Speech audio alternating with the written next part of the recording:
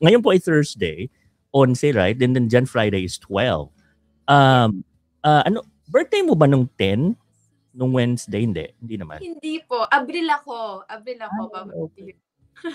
Kasi birthday niya kasi Ara Ara San August, Augustin, August. Ah, wow! Wow, wow! Witty, witty.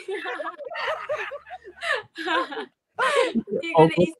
uh, August 10 kasi August August Agustin. Pala. Lang, oh, yeah, yeah. P- pwede mo yung gamitin. tama, tama. And you Copy look you look like Aramina.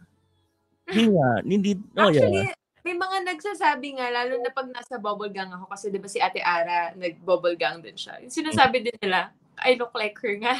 no. Oo. Hindi ka pinaglian din naman ng nanay mo, ng ano. Kay Ate Ara. Hindi, kay Toy. Hindi naman. Parang Hindi. hindi naman. Hindi. Alam ko, niya ako sa buko at sa hipon. Yun. Ah, okay. Nako, pag yun pala ang ah, kung yun po ang ah, produkto ng uh, paglilinis sa hipon, nako lahat po, nako maghipon na tayo.